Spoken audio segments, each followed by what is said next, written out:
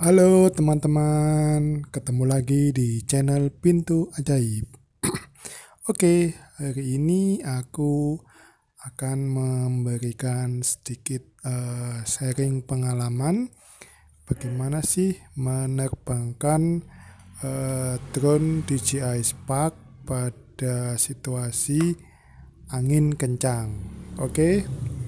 Jadi ketika kalian uh, akan menerbangkan drone DJI Spark, uh, pastikan pertama adalah kalian sudah melakukan langkah-langkah seperti ini, yaitu uh, home point sudah terkunci dengan GPS minimal uh, di angka 7. Kemudian uh, pastikan baterai sehat dan kemudian uh, pastikan juga propeller uh, aman tidak bengkok atau tidak kendo bautnya. Jadi pastikan propeller bekerja dengan baik. Oke? Nah setelah itu juga cek uh, baterai remote juga. Jangan sampai habis oke? Uh, baterai remote itu indikatornya ada empat warna putih LED-nya. Oke, semua sudah berjalan dengan normal, tidak ada masalah, baru kalian uh, take off.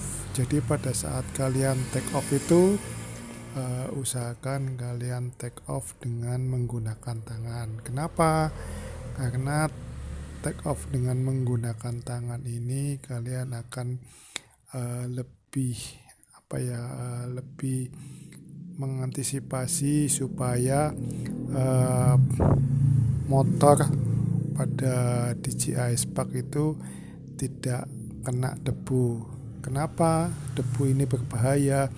Karena jika motor kalian kena debu, maka di aplikasi akan muncul notifikasi uh, motor uh, obstructed atau mungkin juga ada gangguan pada gimbal jadi nanti gimbal akan muncul tulisan uh, gimbal overload nah jadi antara motor obstructed dan gimbal overload itu keduanya biasanya disebabkan oleh uh, debu mikro yang masuk ke dalam bagian gimbal atau bagian motor.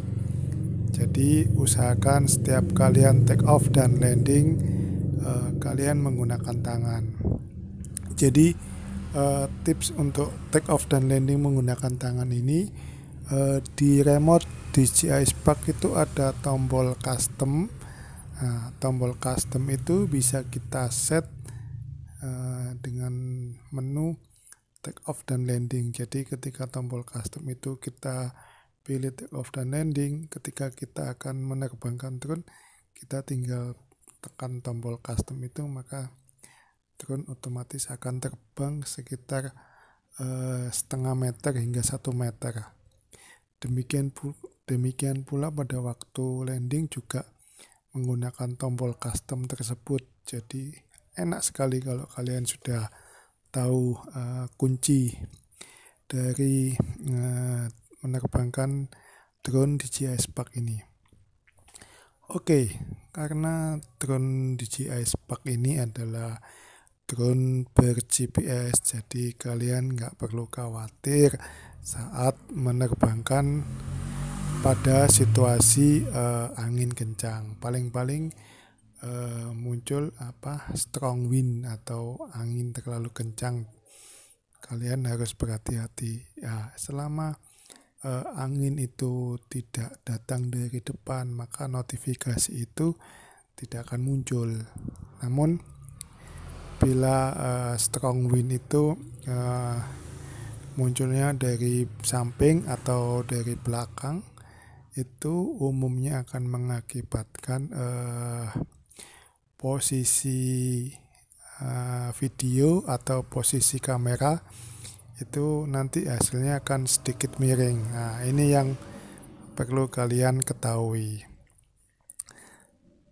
Kemudian selanjutnya eh, di drone yang saya pakai ini saya juga menggunakan antena tambahan yaitu antena debis. Kenapa? Karena antena ini eh, dia dibuat atau desainnya untuk lebih memfokuskan eh, sinyal yang keluar. Jadi sinyalnya lebih fokus dan menghasilkan eh, jangkauan yang lebih baik dibandingkan dengan sinyal standar bawaan.